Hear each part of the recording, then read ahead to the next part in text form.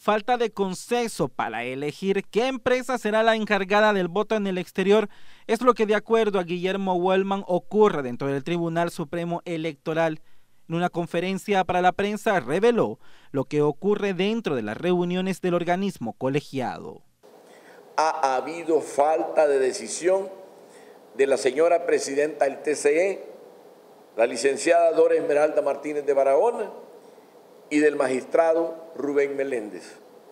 En el caso del magistrado Julio Olivo, él ha manifestado públicamente que se va a abstener de votar sobre este proceso. Y llamar la atención a colegas magistrados a no anteponer cualquier agenda personal y más bien que nos dediquemos a trabajar por el fortalecimiento de la democracia y la modernización de nuestro sistema electoral.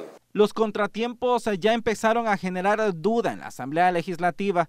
El presidente de ese órgano de Estado cuestionó la falta de decisión de los magistrados. No hay excusa para que el Tribunal eh, Supremo Electoral siga con estos atrasos. Pues nosotros vamos a pedir un informe, vamos a ver qué es lo que está sucediendo. Desde la Asamblea nosotros vamos a hacer todo lo que sea necesario. Pero repito, eh, no van a estar jugando con la gente, pues, y nosotros también no queremos pensar mal. Eh, nosotros les hemos dado un voto de confianza a los magistrados del Tribunal Supremo Electoral. No queremos estar pensando mal que ellos no se ponen de acuerdo por, por otros intereses. Pero ¿cuál es la respuesta de Wallman ante esas palabras? Y yo creo que él tiene toda la razón y la población tiene derecho a saber qué es lo que pasa en el tribunal. ¿Mm? ¿Por qué estamos retrasando este, estos procesos? ¿Ah?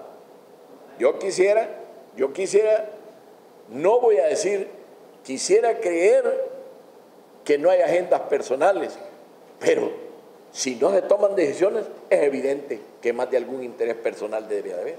La fecha límite para tener listo el andamiaje que se usará para que los salvadoreños puedan emitir su voto en el extranjero es el 4 de junio, pues el sufragio electrónico debe empezar el 6 de enero del próximo año, es decir, un mes antes del evento electoral. Guillermo Wallman espera que los impases en las reuniones colegiadas se resuelvan esta semana. Con imágenes de Ricardo Tobar, Aldair Tadeo, Noticiero Hechos.